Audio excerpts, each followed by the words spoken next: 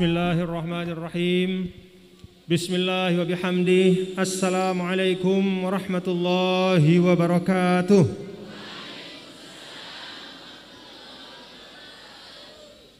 الحمد لله الحمد لله حمد الحامدين والصلاة والسلام على سيدنا مولانا محمد سيد الأنبياء والمرسلين وعلى آله وصحبه أجمعين.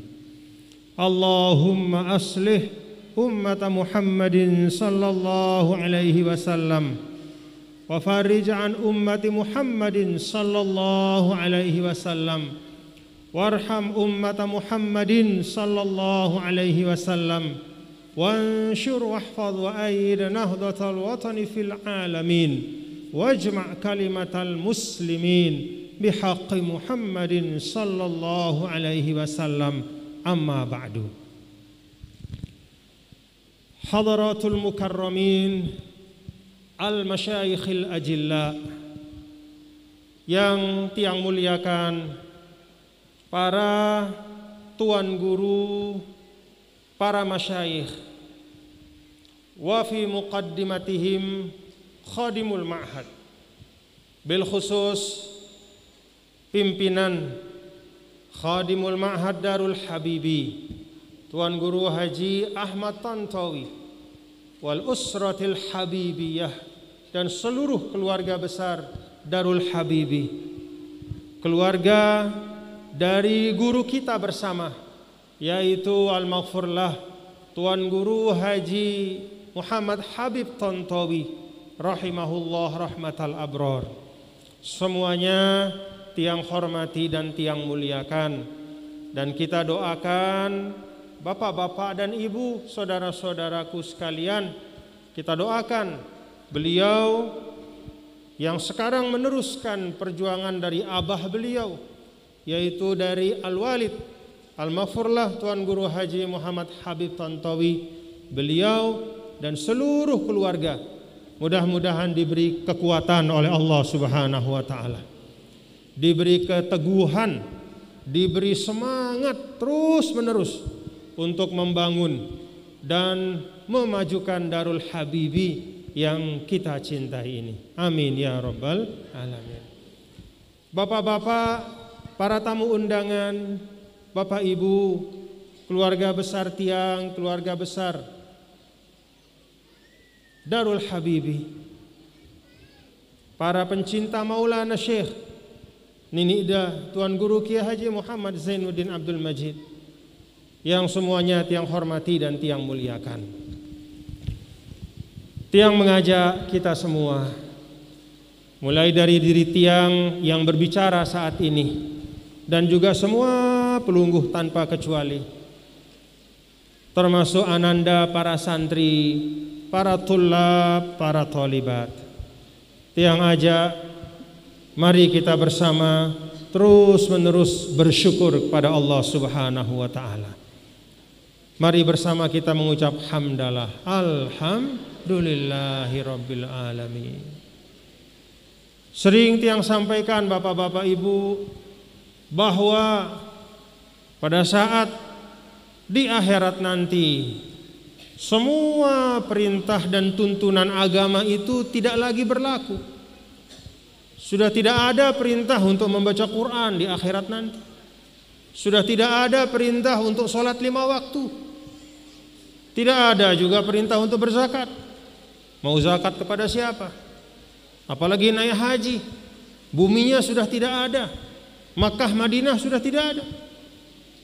Maka para ulama menyampaikan ya, beristidlal dari salah satu ayat Al-Quran bahwa tidak ada yang tersisa tuntunan Allah Ta'ala bagi manusia kelak di akhirat kecuali satu saja perintah yang tetap harus dilaksanakan.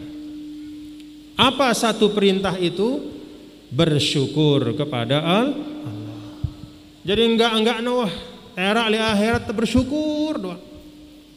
Itu ada di dalam ayat Al-Qur'an wa qalul hamdulillahilladzi hadana li hadza wa ma kunna linahtadiya laula an hadanallah. Jadi pada saat kaki orang yang beriman itu menjejakkan orang beriman itu menjejakkan kakinya ke dalam surga. Mudah-mudahan kita termasuk Bapak Ibu nggih. Pada saat melangkah itu nah, pada saat melangkah apa firman Allah menggambarkan ucapan ahli surga menggambarkan ucapan ahli surga. Wa qalu alhamdulillah. Mereka semua ahli surga itu hanya satu ucapannya ketika masuk surga. Orang Indonesia, Arab mana pun, mulai dari zaman dulu sampai akhir nanti hari kiamat, ucapannya cuma satu. Wa qalu alhamdulillah. Alhamdulillahilladzi hadana lihada. Segala puji bagi Allah yang telah memberikan kami hidayah menuju kepada rumah kebahagiaan selama-lamanya. Alhamdulillah. Nah, Bapak Ibu, mari kita niatkan alhamdulillah kita hari ini mudah-mudahan menjadi muqaddimah alhamdulillah kita era akhirat nggih. Kan Begitu kata Rasul Shallallahu Alaihi Wasallam bahwa orang-orang manusia, manusia itu, setiap manusia itu, dia akan dimatikan sesuai dengan cara dia hidup. Kalau pada saat dia hidup ringan ucapannya mengucap alhamdulillah, maka pada saat wafat pun dia akan mudah mengucapkan kalimat thayyibah. Dan setelah itu kata Rasul, yub'atsu ala ma yub'atsuna ala ma matu alaihi. Kemudian kelak di akhirat pun manusia itu akan dibangkitkan sesuai dengan modelnya ketika dia meninggal. Jadi ngumbe angkun tiang pelungguh hidup, ngeno angkun tiang pelungguh mati era. Ngumbe angkun tiang pelungguh mati, ngeno angkun tiang pelungguh tebangkit era. Jadi ndek nara cerita manusia hidup semele-melena, tenggelam dalam kemaksiatan, kemudian dia meninggal dalam keadaan husnul khotimah tanpa taubat. Ini narak cerita. Ngombe angkun hidup, ngenu angkun mati. Dan bagaimana cara dia mati? Seperti itu pula cara dia dibangkitkan. Maka ini yang disebut dengan satu alur kehidupan. Kalau kita Bapak Ibu hadirin hadirat sekalian Kehidupan bagi tiang pelungguh itu kan satu rangkaian, tidak hanya di dunia. Tapi mulai dari alamut, alamul misal atau disebut dengan alamul arwah, lalu alamul arham, lalu alamul dunia, si makin niki, kemudian era alamul barzah dan kemudian alamul akhirah itu semua satu rangkaian. Jadi ngumbe angkunta bagaimana kelakuan kita kelakuan saya, kelakuan pelunggu. Bapak Ibu, bagaimana sikap kita sekarang ini menentukan bagaimana cara kita mati nanti. Ingin kita meninggal husnul khatimah? Ingin Bapak Ibu? Kalau kita ingin husnul khatimah, maka kita harus isi kehidupan dengan husnul amal. Husnul khatimah harus diawali dengan husnul amal. Nih, amal yang bagus. Kalau amalnya bagus, insya Allah mudah-mudahan, mudah-mudahan akhirnya bagus. Maka ini yang pertama yang ingin tiang sampaikan, Bapak Ibu. Jadi kalau nanti ahli surga mengucap Alhamdulillah, maka supaya kita supaya kita juga mudah-mudahan termasuk ahli surga yang kelak mengucap alhamdulillah. Ketika masuk surga maka hidup kita harus penuh dengan kesyukuran. Alhamdulillah. Kita syukuri.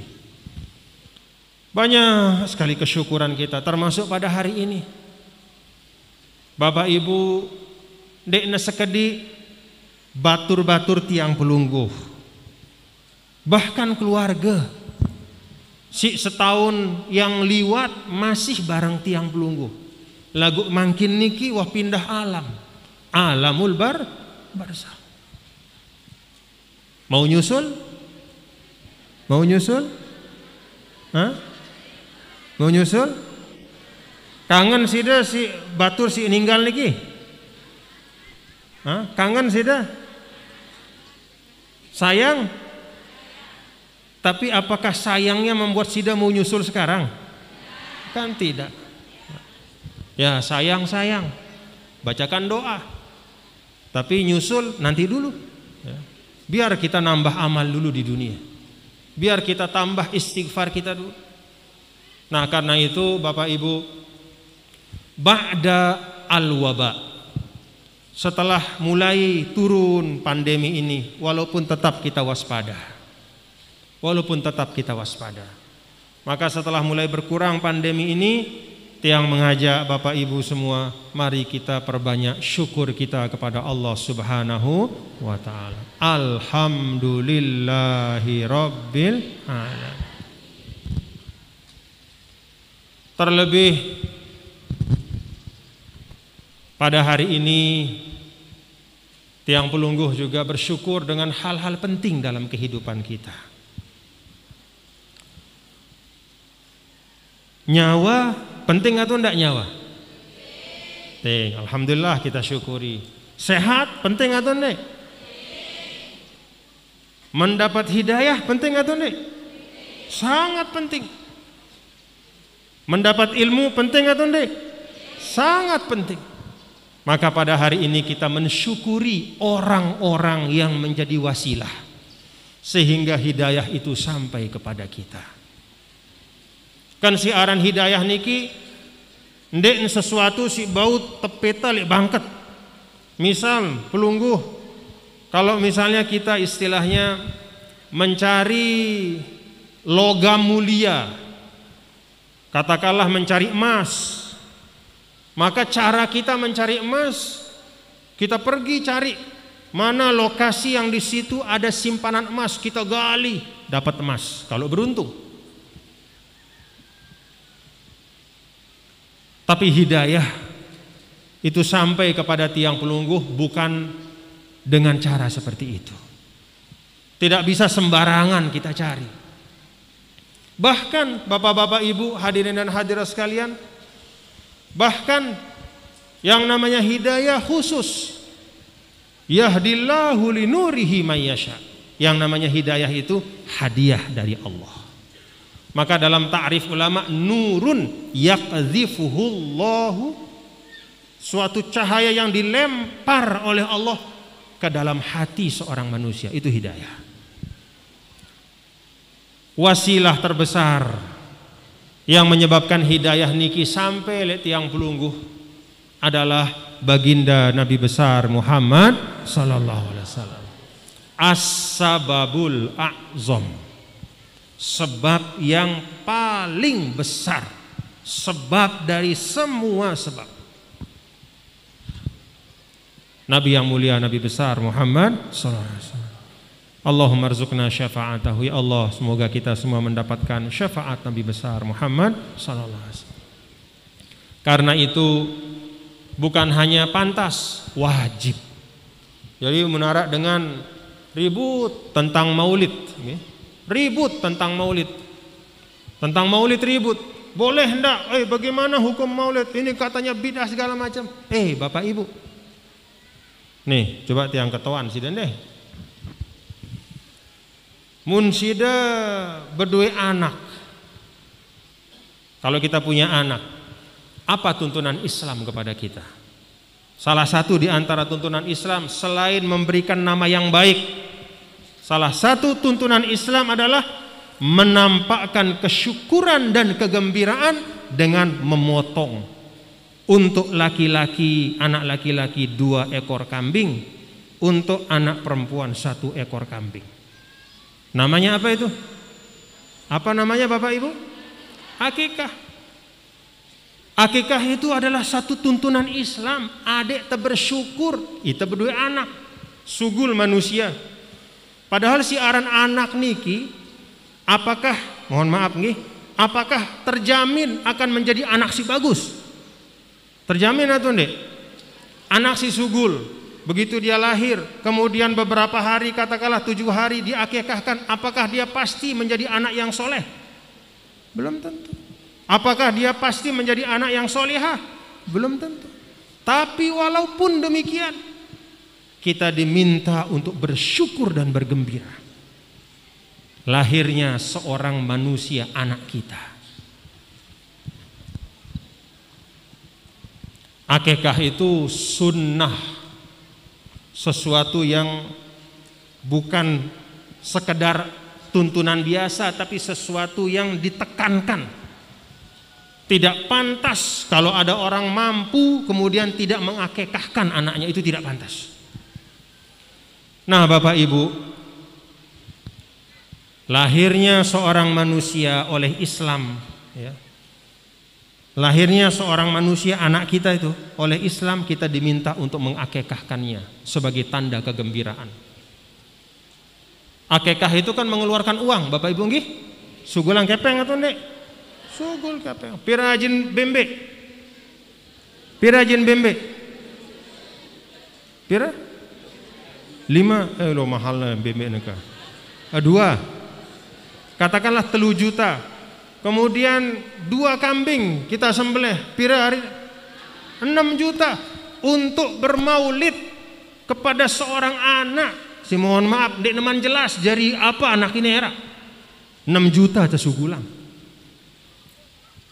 Eh ketika memperingati lahirnya Rasul ribut dia. Jangankan 6 juta sugulang untuk maulid Nabi sepiring nasi bayi masih ribut ya. Pantas atau enggak? Pantas atau enggak? Sikap seperti itu pantas atau enggak? Untuk seorang manusia biasa saja kita disuruh berakekah. Berjuta-juta kita keluarkan. Maka apalagi untuk kelahiran manusia yang istimewa yang menjadi jalan sampainya hidayah kepada kita. Pantas sugul berjuta-juta? Pantas. Le akhirat era si jelas ngebeng kita syafaat saya nabi atau anak ta? Nih ketuaan jamak-jamak deh. Nabi atau anak ta? Mudah-mudahan anak tenda. Syafaat kecil-kecilan. Yang rumbuk-rumbuk lah mudah-mudahan nggih. Mudah-mudahan. Mun anak soleh pacu Katakanlah misalnya apalagi hafal Quran, mengamalkan Al-Quran, insya Allah mau itu dengan to'an pahala. Tapi kalau dibandingkan dengan syafaat Rasul, tidak ada nilai dan tidak ada artinya. Jadi Bapak Ibu, bermaulid untuk Rasulullah Sallallahu Alaihi Wasallam itu adalah bentuk maulid yang paling pantas kita lakukan dalam kehidupan dunia ini. Munarak si temile maulitang. Dalam arti bersyukur karena kelahirannya. Maka yang paling pantas kita maulidkan adalah Nabi yang mulia Nabi besar Muhammad sallallahu alaihi ada orang uangnya banyak lahir punya anak woi senang diundang semua orang diundang. Karena dia syukurnya ada lahir anaknya.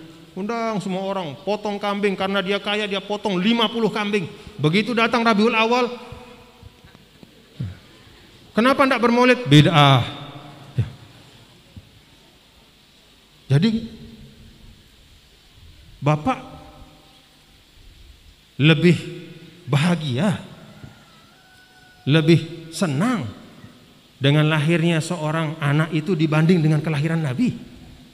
Nah, coba kita pikirkan. Jadi tuntunan Islam itu Bapak Ibu tidak hanya untuk kita amalkan tapi kita pikirkan. Nabi Shallallahu Alaihi Wasallam memang tidak menyuruh kita untuk memperingati maulidnya. Tapi dengan Nabi memerintahkan kita untuk bersyukur kepada anak yang lahir dengan memotong kambing, berakikah, mengeluarkan harta. Itu artinya pelajaran untuk kita. Bahwa untuk orang yang mulia, untuk sesuatu yang bernilai tinggi, apalagi menjadi sebab hidayah, maka pantas kita untuk mengeluarkan apa yang berharga dari diri kita. Alhamdulillah.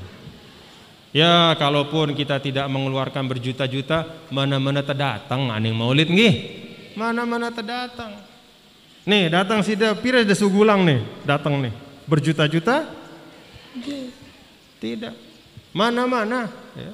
Kita bermaulid ini bersyukur. Alhamdulillah memperingati Nabi yang mulia, Nabi besar Muhammad Sallallahu Dan juga selain itu, selain itu, selain itu, setiap saat Mudah-mudahan kita tidak lupa dan dilupakan selalu membaca salawat kepada Nabi besar Muhammad, Nabi besar Muhammad, Muhammad wa ala alihi. salah satu sebab yang paling besar sampainya ilmu kepada kita. Alham hidayah tok. Nih. Iman doang.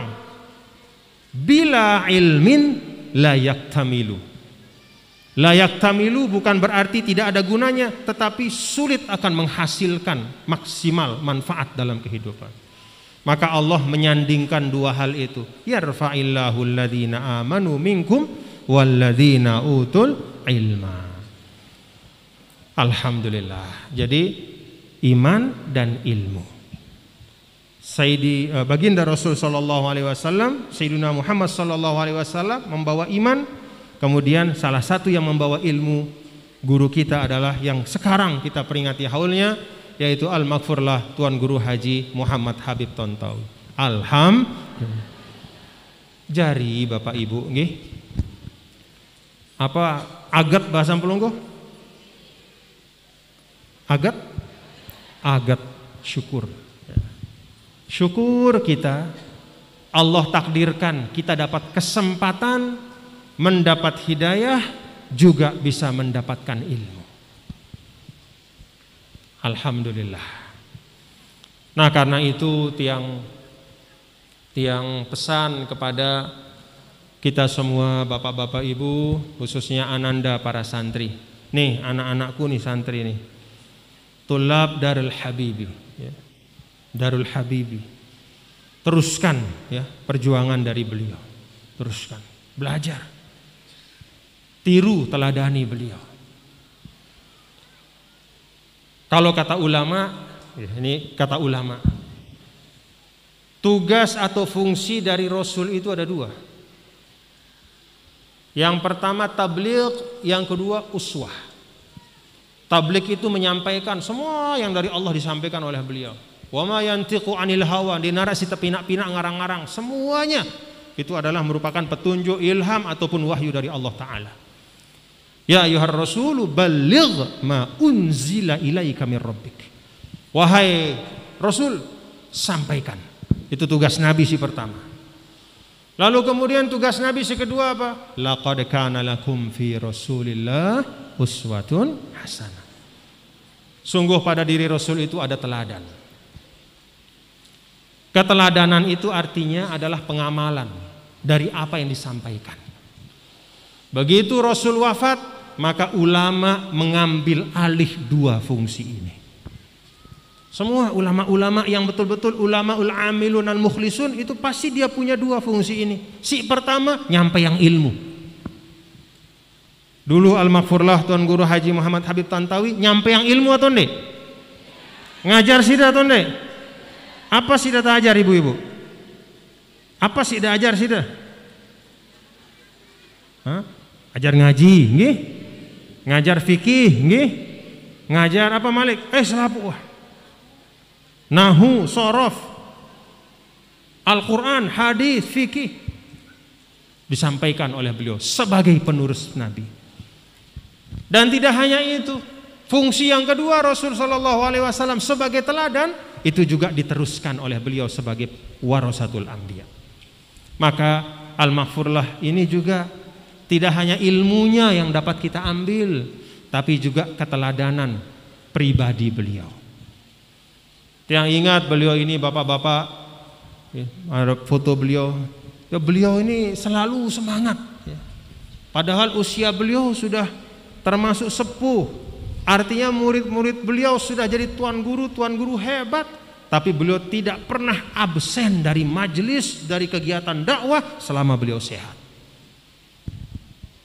Itu uswah untuk kita. Dan mahalnya nilai dari seorang ulama tidaklah dari hebat ilmunya yang dia sampaikan, tapi juga keutuhan pribadi yang menjadi teladan.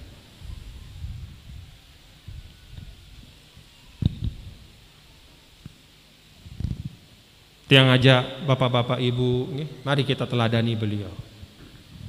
Cintanya pada ilmu. Anakku santri, cinta ilmu ya? Cintai ilmu. Cintai ilmu.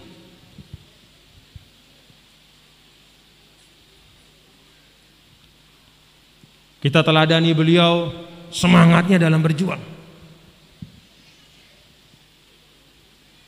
Yang ingat beliau yang ngangkat ember dulu pada waktu kita melaksanakan pembangunan di belakang. Beliau yang angkat ember yang ingat. Yang pegang batu beliau angkat ember. Mulutnya banyak. Istilahnya muahlingsir sepuh beliau seperti itu sudah tidak perlulah angkat ember lagi tapi beliau sendiri angkat ember. Yang isinya loh-loh. Yang taruh batu ember dikasih tiang kita tumpahkan loh-loh. Semangat berjuang Mudah-mudahan putra keturunan-keturunan beliau juga bisa mewarisi semangat perjuangan itu. Ya.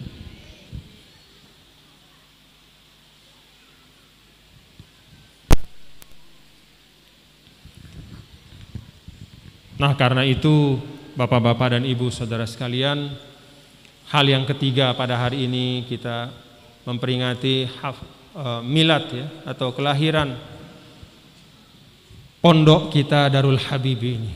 Pira umur Darul Habibi mungkin? 29. Alhamdulillah. Itu kalau dalam suratul Fatah itu apa? Fa'azarahu fastaglazo fastawa ala suqi. Jadi marhalah atau tahap dari Darul Habibi ini adalah sudah Azarohu. Azarohu itu ada al-mu'azaroh. Artinya banyak yang ikut bersama-sama Bergotong royong. Fastaglazo. Maka kemudian menjadi kokoh dia. Lihat fisiknya kokoh. Mudah-mudahan juga batinnya kokoh. Nih udah berlantai. Lantai pira nih? Ini masjid. Lantai pira masjid? Dua. No apa belakang? Gedung. Sekolah atau sekolah lantai pira? Lantai tiga. Masya Allah. Lantai empat bahkan. Di sana asrama. Lantai berapa? Dua. Alhamdulillah. Istaglazo. Sudah kokoh. Insya Allah lahir dan bah. Fastawa ala suqih. Dia menjadi mandiri dan bisa tegak. Tegak mandiri, tidak menggantungkan diri pada orang, pada kelompok, pada pihak lain, dia sudah bisa tegak.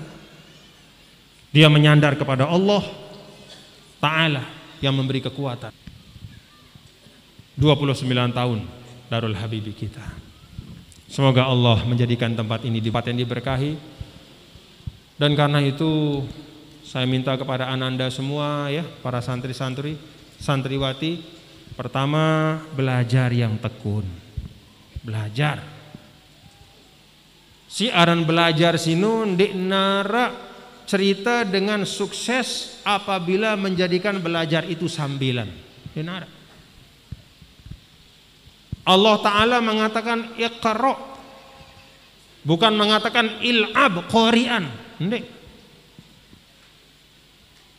Allah Ta'ala mengatakan bacalah, belajar, menuntut ilmu. Tidak mengatakan mainlah sambil belajar. Jadi konsep Islam tentang belajar itu selamanya yang namanya guru tetap guru sealim-alimnya kamu setelah selesai menuntut ilmu. Itu pokok belajar. Adapun selain daripada pokok belajar itu bisa disesuaikan dengan zaman.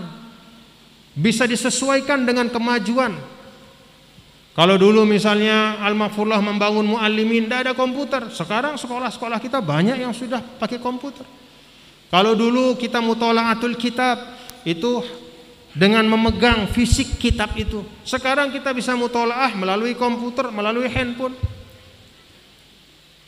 Itu cara. Kalau cara bisa kita sesuaikan.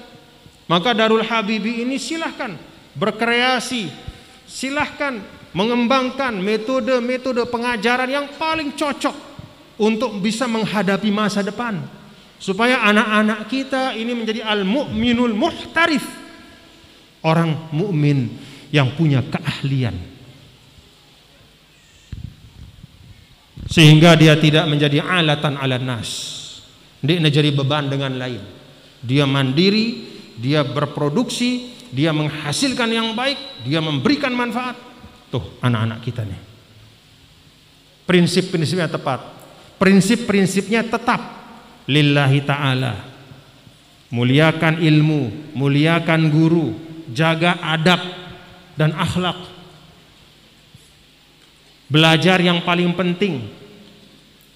Dahulukan ilmu-ilmu yang paling penting. Termasuk ilmu hal.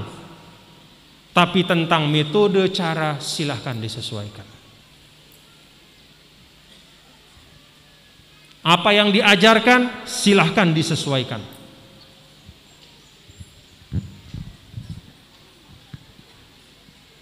Maka tiang berharap dari Darul Habibi insya Allah tidak hanya sekedar keluar tuan guru, tidak hanya tuan guru saja yang dihasilkan atau ustazah, da'iyah saja. Tapi juga bisa lahir apa? At-tajirul amin ya. Seorang bisnismen yang amanah. Bisa lahir seorang Asyasi Al-Amin, seorang politisi yang amanah. Bisa lahir Al-Mudarris Al-Amin, seorang pendidik yang amanah. Dan seterusnya. Kita doakan mudah-mudahan apa yang baik-baik yang kita niatkan untuk pondok pesantren ini dimudahkan oleh Allah Subhanahu wa taala. Anak-anakku mendapat ilmu yang barokah, dan kita teruskan perjuangan dari beliau. Insyaallah nggih? Insyaallah satu visi dalam kekompakan kebersamaan ya. Karena ilmu beliau kan mengalir dari al-maghfurlah.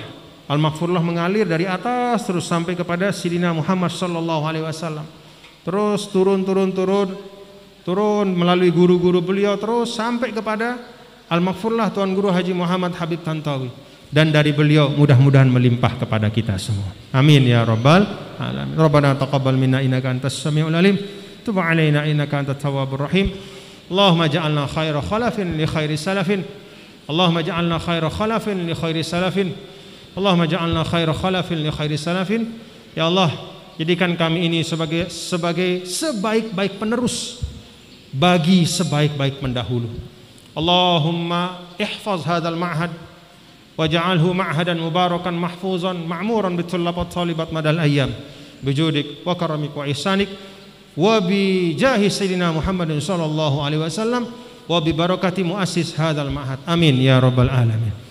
Demikian yang dapat saya sampaikan. Alhamdulillah kita dapat bersilaturahim jaga kesehatan Bapak Ibu nih jaga betul kesehatan karena itu modal yang luar biasa apa pun yang kita ingin lakukan itu akan dimudahkan kalau kita punya kesehatan. Saling doa mudah-mudahan kita dalam keadaan sehat walafiat. Demikian dan sebagai penutup yang mengajak untuk kita bersama-sama membaca suratul Fatihah dengan niat khusus untuk Al-Maghfurlah Tuan Guru Haji Muhammad Habib Tontowi guru kita. Semoga Allah Subhanahu wa taala taghammadahu bi rahmatihil wasi'ah meliputi beliau dengan rahmatnya yang maha lapang. Askanahu fasiha jannatih menempatkan beliau di surganya yang sangat lapang dan luas. Ja'ala qabrahu raudhah min riyadil jannah menjadikan kubur beliau menjadi kebun surga. Dan nawwara qabrahu binuril iman wa amalihi as-salih wa birahmatihi wa birahmatillah dan menerangi kubur beliau ya, dengan cahaya uh, rahmat Allah dengan cahaya amal baik beliau. Ala hadhihi niyyah al-fatihah rajim. Bismillahirrahmanirrahim. Alhamdulillahirabbil alamin. Arrahmanirrahim. Maliki iyyaka na'budu wa iyyaka nasta'in. Ihdinas siratal mustaqim. Siratal ladzina an'amta 'alaihim ghairil maghdubi 'alaihim waladdallin. Amin. Demikian yang dapat yang sampaikan. Semoga ada manfaatnya dan eh, mohon maaf kalau ada hal yang kurang pas yang mungkin terucap oleh tiang. Dan eh, mudah-mudahan Allah menjumpakan kita dalam keadaan yang lebih baik. Amin ya rabbal alamin. Wallahul muwaffiqul hadi ila sabilir rasyad. Wassalamualaikum warahmatullahi wabarakatuh.